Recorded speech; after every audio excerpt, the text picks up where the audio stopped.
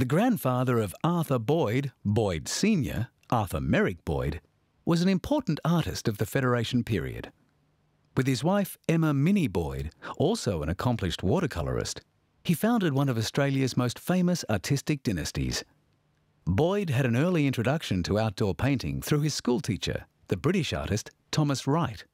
He later studied at the National Gallery School in Melbourne.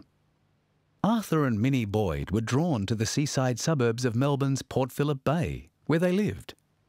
Boyd's love of the sea inspired many of his paintings, and in his later watercolours, he sought to capture the effects of light on water. Gathering seaweed before the storm, Sandringham Beach, is filled with light, giving the scene a quiet energy.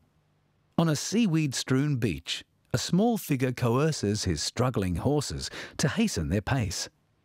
The forces of the gathering storm overshadow their efforts as the rain drenched clouds roll in and a flash of lightning illuminates the sky. Boyd's fondness for the landscape and his respect for the labours of the worker struggling against the forces of nature are the overwhelming elements of this watercolour.